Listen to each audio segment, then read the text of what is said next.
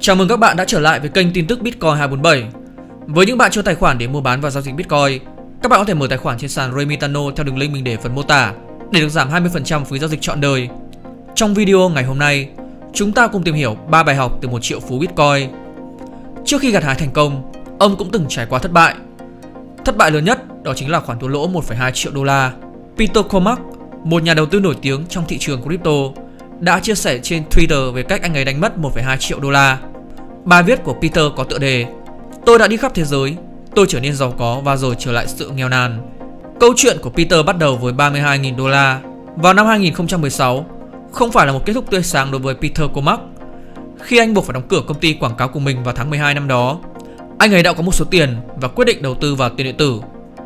Anh ấy đã đầu tư 32.000 đô la vào Bitcoin và Ethereum khi Peter thấy rằng khoản đầu tư của mình được đánh giá cao, anh ấy bắt đầu không bị giới hạn ở hai loại tiền điện tử này và đầu tư vào nhiều loại altcoin khác.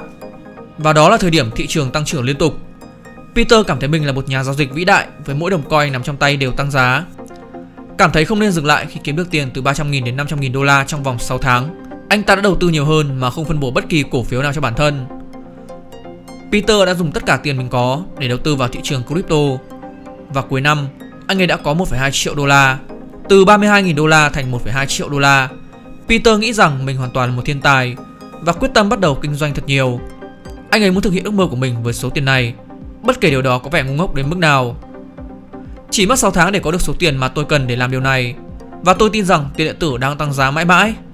Tiếp tục thu được lợi nhuận từ tiền điện tử ở nhiều đồng coin khác, Peter mở rộng đầu tư sau hoạt động khai thác Bitcoin.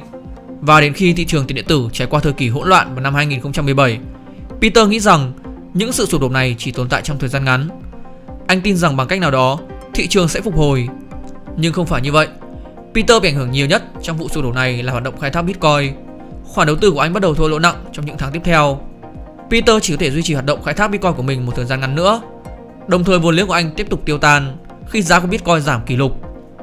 Peter đã có khoảng 150 Bitcoin vào thời kỳ đỉnh cao của các khoản đầu tư và anh đã mất Bitcoin trong khi tiếp tục các hoạt động giao dịch của mình để kiếm đô la. Và số Bitcoin này đã giảm nhanh chóng khi anh chuyển sang giao dịch ngắn hạn. Vào thời điểm anh nhận ra rằng đây là chiến lược sai lầm, anh ấy chỉ còn lại 80 Bitcoin, trong khi đó các loại tiền điện tử khác mà anh ta đầu tư tiếp tục sụp đổ. Đã quá muộn khi Peter nhận ra rằng mình đã khuất phục trước lòng tham và tham vọng của mình. Sau khi trả nợ thuế, anh ta gần như không còn gì cả. Peter cảm thấy tiếc nuối vì không thể sử dụng số tiền kiếm được một cách bền vững. Nhưng anh cũng cảm thấy hài lòng với những gì cuộc sống đã cho anh thấy. Giờ đây với tư cách là một người cha, Peter muốn chăm sóc gia đình, tiếp tục chương trình đầu tư vào Bitcoin. Sau đó anh đã trở lại thị trường với một sự cẩn trọng nhiều hơn và sau đó đã kiếm lại tiền từ thị trường này. Bài học rút ra từ Peter Comac Bài học đầu tiên, số lượng Bitcoin bạn có là thứ quan trọng nhất. Giá trị đồng đô la liên tục thay đổi, số Bitcoin bạn có là rất quan trọng. Số Bitcoin bạn nắm giữ cần phải được tăng lên theo thời gian. Bài học thứ hai, ngừng giao dịch ngắn hạn. Bạn không thể dự đoán được giá của Bitcoin trong ngắn hạn hãy ngừng giao dịch ngắn hạn. Liên tục đặt giá lên xuống sẽ cuốn bạn trở thành một con bạc. Và bài học thứ ba, không sử dụng đòn bẩy. Thị trường crypto có sự biến động quá lớn, không phù hợp với việc sử dụng đòn bẩy.